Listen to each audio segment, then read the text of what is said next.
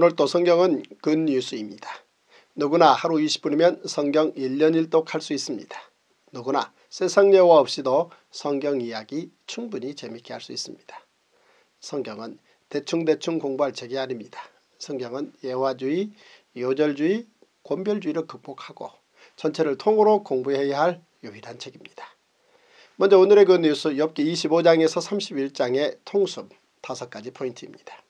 첫째 빌닷은 욥의 자녀들이 죽게 된 것도 욥의 모든 고난도 욥의 죄악 때문이라고 끝까지 주장합니다.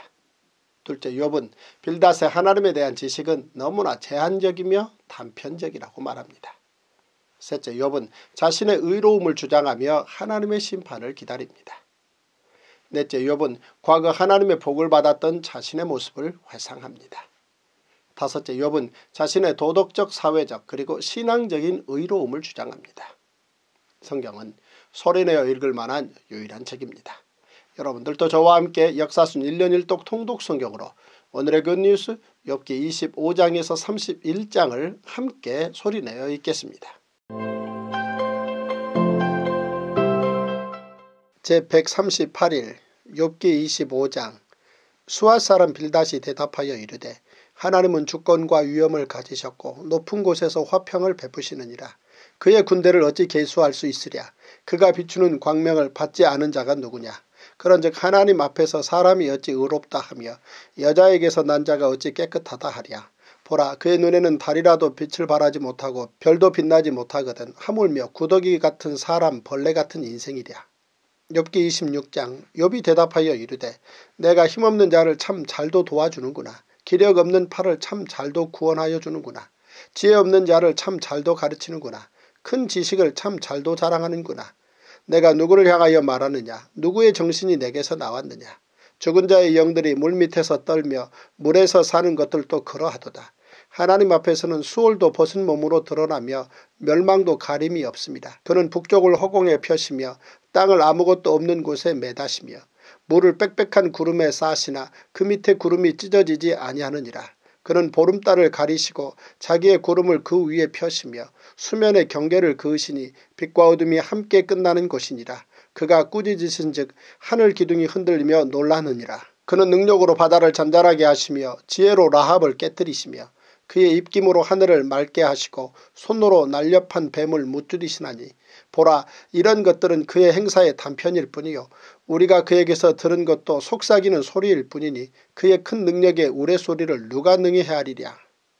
엽기 27장 엽이 또 풍자하여 이르되 나의 정당함을 물리치신 하나님 나의 영혼을 괴롭게 하신 전능자의 사심을 두고 맹세하노니 나의 호흡이 아직 내 속에 완전히 있고 하나님의 숨결이 아직도 내 코에 있느니라 결코 내 입술이 불의를 말하지 아니하며 내 혀가 거짓을 말하지 아니하리라 나는 결코 너희를 옳다 하지 아니하겠고 내가 죽기 전에는 나의 온전함을 버리지 아니할 것이라. 내가 내 공의를 굳게 잡고 놓지 아니하리니 내 마음이 나의 생애를 비웃지 아니하리라.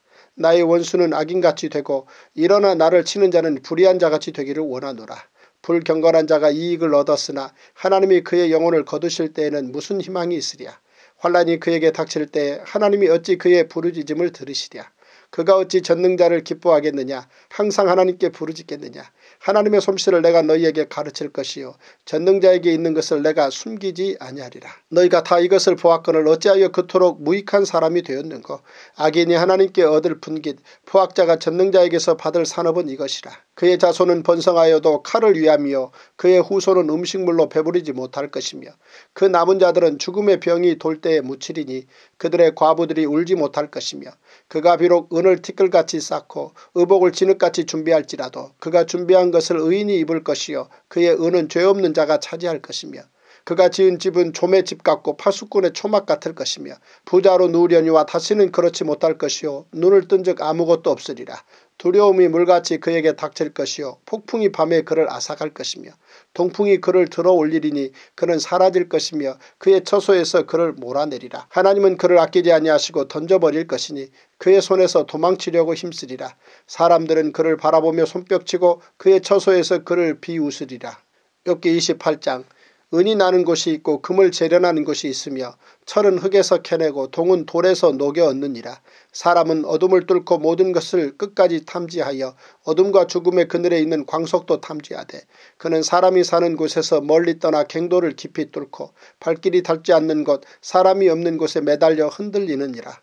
음식은 땅으로부터 나오나 그 밑은 불처럼 변화했도다. 그 돌에는 청옥이 있고 사금도 있으며 그 길은 솔개도 알지 못하고 매의 눈도 보지 못하며 용맹스러운 짐승도 밟지 못하였고 사나운 사자도 그리로 지나가지 못하였느니라. 사람이 굳은 바위에 손을 대고 산을 뿌리까지 뒤엎으며 반석의 수로를 터서 각종 보물을 눈으로 발견하고 누수를 막아 스며 나가지 않게 하고 감춰져 있던 것을 밝은 대로 끌어내느니라.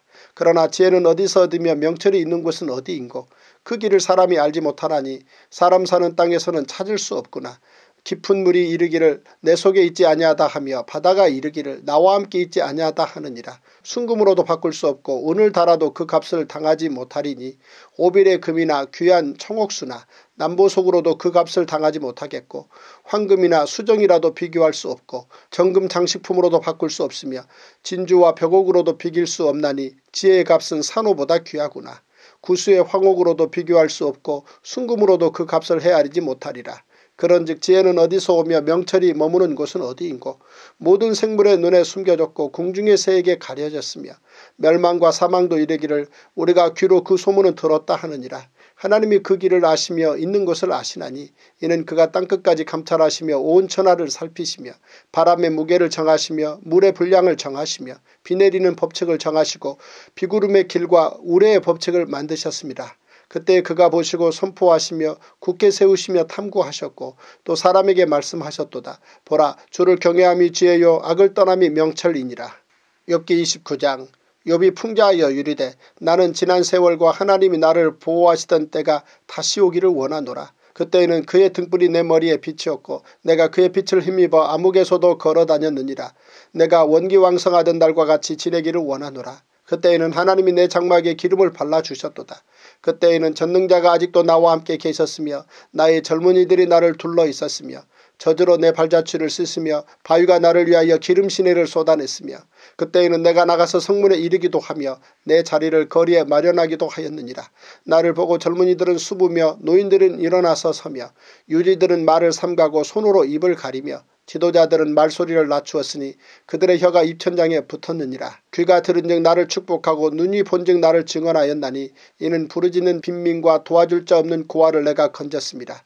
망하게 된 자도 나를 위하여 복을 빌었으며 과부의 마음이 나로 말미암아 기뻐 노래하였느니라. 내가 의를 옷으로 삼아 입었으며 나의 정의는 겉옷과 모자 같았느니라. 나는 맹인의 눈도 되고 다리 저는 사람의 발도 되고 빈궁한 자의 아버지도 되며 내가 모르는 사람의 송사를 돌보아 주었으며 불의한 자의 턱뼈를 부수고 노획한 물건을 그 이세에서 빼내었느니라. 내가 스스로 말하기를 나는 내 보금자리에서 숨을 거두며 나의 날은 모래알같이 많으리라 하였느니라. 내 뿌리는 물로 뻗어나가고 이슬이 내 가지에서 밤을 지내고 갈 것이며 내 영광은 내게 새로워지고 내 손에서 내 화살이 끊이지 않았노라. 무리는 내 말을 듣고 희망을 걸었으며 내가 가르칠 때에 잠잠하였노라. 내가 말한 후에는 그들이 말을 거듭하지 못하였나니 나의 말이 그들에게 스며들었습니다. 그들은 비를 기다리듯 나를 기다렸으며 봄비를 맞이하듯 입을 벌렸느니라. 그들이 의지없을 때 내가 미소하면 그들이 나의 얼굴빛을 무색하게 아니하였느니라. 내가 그들의 길을 택하여 주고 으뜸되는 자리에 앉았나니 왕이 군대 중에 있는 것과도 같았고 애곡하는 자를 위로하는 사람과도 같았느니라. 엽기 30장 그러나 이제는 나보다 젊은 자들이 나를 비웃는구나.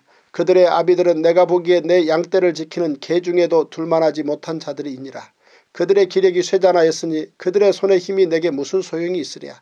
그들은 곧 궁핍과 기근으로 인하여 파리하며 캄캄하고 메마른 땅에서 마른 흙을 씹으며 떨기나무 가운데서 짠 나무를 꺾으며 대쌀이 뿌리로 먹을 거리를 삼느니라. 무리가 그들에게 소리를 지르므로 도둑같이 사람들 가운데서 쫓겨나서 침침한 골짜기와 흙구덩이와 바위 굴에서 살며 떨기나무 가운데서 부르짖으며 가시나무 아래에 모여 있느니라. 그들은 본래 미련한 자의 자식이요 이름 없는 자들의 자식으로서 고토에서 쫓겨난 자들이니라. 이제는 그들이 나를 노래로 조롱하며 내가 그들의 놀림거리가 되었으며 그들이 나를 미워하여 멀리하고 서슴지 않고 내 얼굴에 침을 뱉는도다. 이는 하나님이 내 활시위를 늘어지게 하시고 나를 곤고하게 하심으로 무리가 내 앞에서 굴레를 벗었음이니라. 그들이 내 오른쪽에서 일어나 내 발에 덫을 놓으며 나를 대적하여 길을 에워싸며 그들이 내 길을 헐고 내 재앙을 재촉하는데도 도울 자가 없구나. 그들은 성을 파괴하고 그 파괴한 가운데로 몰려드는 것 같이 내게로 달려드니 순식간에 공포가 나를 에워싸고 그들이 내 품위를 바람같이 날려버리니 나의 구원은 구름같이 지나가 버렸구나. 이제는 내 생명이 내 속에서 녹으니 환란날이 나를 사로잡음이라. 밤이 되면 내 뼈가 쑤시니 나의 아픔이 쉬지 아니하는구나. 그가 큰 능력으로 나의 옷을 떨쳐버리시며 나의 옷깃처럼 나를 휘어잡으시는구나. 하나님이 나를 진흙 가운데 던지셨고 나를 티끌과 제각게 하셨구나. 내가 주께 부르짖으라 주께서 대답하지 아니하시오며 내가 섰사오나 주께서 나를 돌아보지 아니하시나이다. 주께서 돌이켜 내게 잔혹하게 하시고 힘있는 손으로 나를 대적하시나이다. 나를 바람 위에 들어 불려가게 하시며 무서운 힘으로 나를 던져버리시나이다. 내가 아나이다. 주께서 나를 죽게 하사 모든 생물을 위하여 정한 집으로 돌려보내시리이다. 그러나 사람이 넘어질 때 어찌 손을 펴지 아니하며 재앙을 당할 때 어찌 도움을 부르지 아니하리이까. 고생의 나를 보내는 자를 위하여 내가 울지 아니하였는가. 빈궁한 자를 위하여 내 마음에 근심하지 아니하였는가. 내가 복을 받았더니 화가 왔고 광명을 기다렸더니 흑암이 왔구나. 내 마음이 들끓어 고요함이 없구나. 환란 날이 내게 임하였구나. 나는 햇볕에 쬐지 않고도 검어진 피부를 가지고 걸으며 회중 가운데 서서 도움을 부르짖고 있느니라. 나는 이리의 형제여 타조의 버시로구나. 나를 덮고 있는 피부는 검어졌고 내 뼈는 열기로 말미암아 탔구나. 내 수금은 통곡이 되었고 내 피리는 애곡이 되었구나. 엽기 31장 내가 내 눈과 약속하였나니 어찌 처녀에게 주목하랴. 그리하면 위에 계신 하나님께서 내리시는 분깃이 무엇이겠으며 높은 곳에 전능자께서 주시는 기업이 무엇이겠느냐. 불의한 자에게는 혼란이 아니겠느냐. 행악자에게는 불행이 아니겠느냐. 그가 내 길을 살피지 아니하시느냐. 내 걸음을 다 세지 아니하시느냐. 만일 내가 허위와 함께 동행하고 내 발이 속임수에 빨랐다면 하나님께서 나를 공평한 저울에 달아보시고 그가 나의 온전함을 아시기를 바라노라. 만일 내 걸음이 길에서 떠났거나 내 마음이 내 눈을 따랐거나 내 손에 더러운 것이 묻었다면 내가 심은 것을 타인이 먹으며 나의 소출이 뿌리채 뽑히기를 바라노라. 만일 내 마음이 여인에게 유혹되어 이웃의 문을 엿보아 문에서 숨어 기다렸다면 내 아내가 타인의 맷돌을 돌리며 타인과 더불어 동침하기를 바라노라.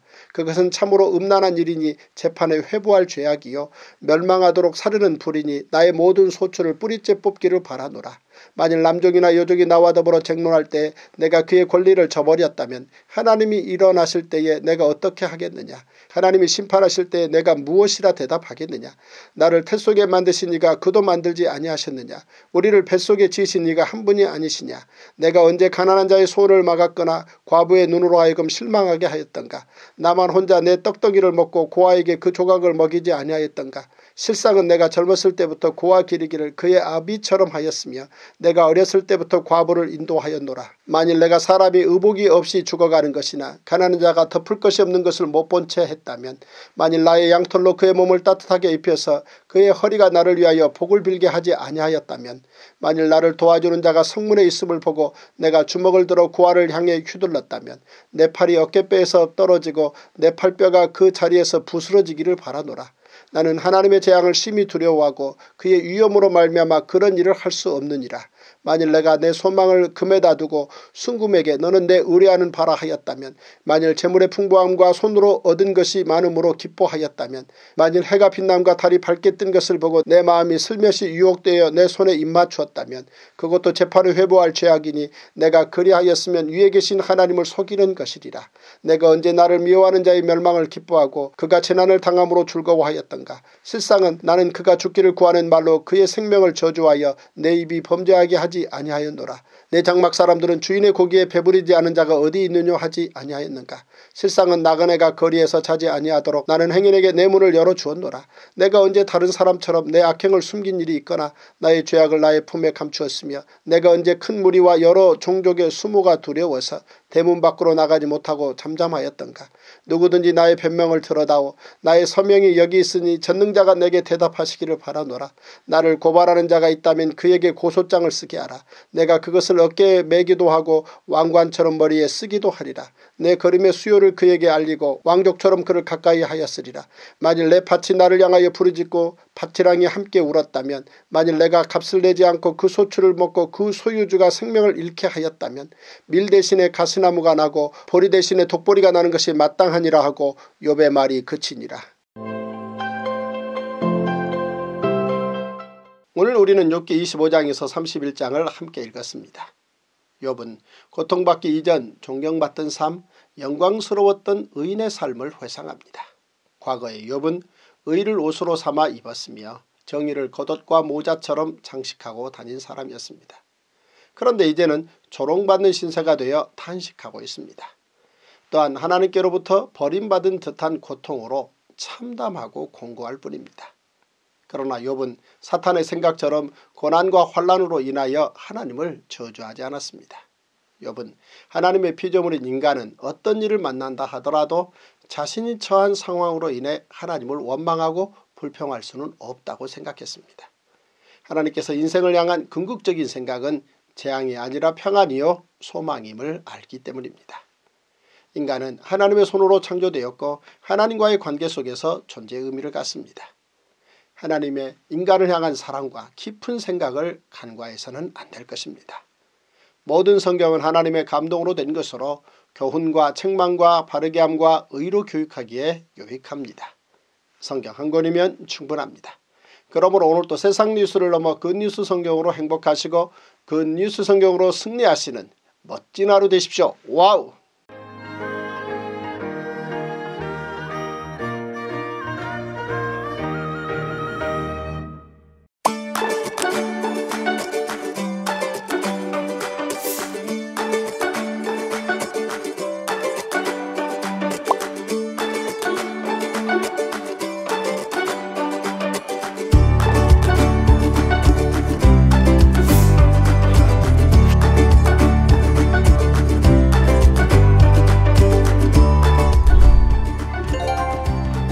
태초부터 종말까지의 시간 이야기, 약속의 땅에서부터 땅끝까지의 공간 이야기, 그리고 하나님께 순종한 사람, 그리고 불순종한 사람들의 인간 이야기가 시간, 인간, 공간이 통으로 다 이해가 되더라고요.